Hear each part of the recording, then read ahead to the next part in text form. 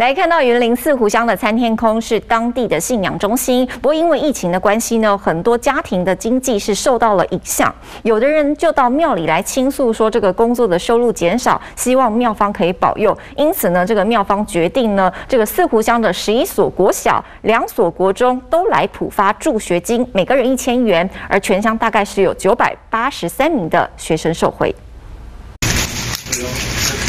庙方人员忙着将千元大钞装进红包袋内，要把握时间将这包助学金送进学生手中。四号乡吼，全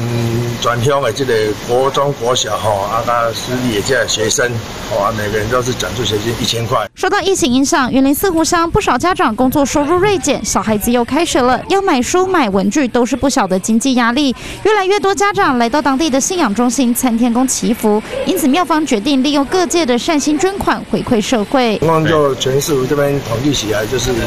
九百八十三位，啊，总共一人一千块，总共就支出的哈九九十四九十八万三这样。参天宫针对四湖乡辖内十一所国小、两所国中，大约有九百八十三名学生可以领千元红包，等同庙方几乎是捐出了近一百万元。我想要